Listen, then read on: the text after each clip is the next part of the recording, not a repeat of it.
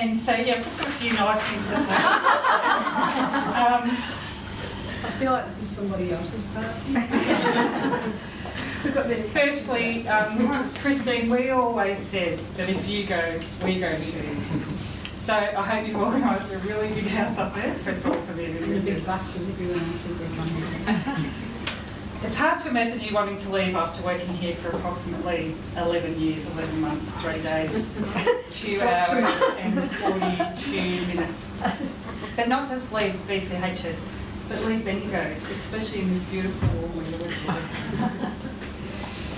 Christine, not only are you a great doctor, but you have so many other talents that probably a lot of other people here don't really know. So I'm just going to elaborate a little bit on them. Um, Christine's a bit of a handyman, or handy person. Uh,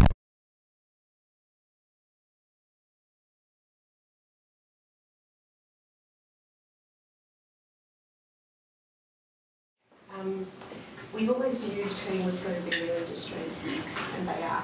And it's also, that's actually a really good thing, because you don't get upset. Sorry, I just looked at Lou, that was a real mistake. you just, but people don't get upset about things they don't care for and things they're not invested in. This team cares for you, and for very good reasons, but it's also incredibly invested um, in the work that they do.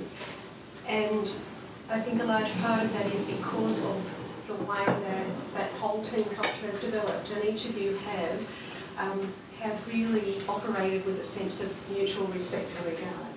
And the outcome for patients has been all the better, and it's a way, um, it's really a, an approach that all of us would do well to model.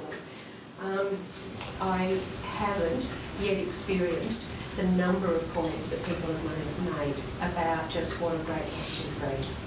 And I think the great loss is not only as a result of your technical skills, mate, um, I think it's also about all those other things. So it's not just the reputation you bring that you've established through just consistent, wonderful work.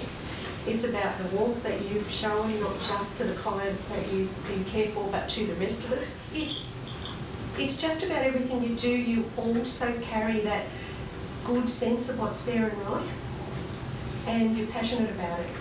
And again, it's that sense of caring that I, you'd much prefer to see somebody be passionate about something than just accept whatever because it's easier. And, but we do wish you absolutely every, every happiness, every joy, um, and, um, and, a, and a fair amount of that kindness that you've shown all of us that we hope it comes your way too. Thank you.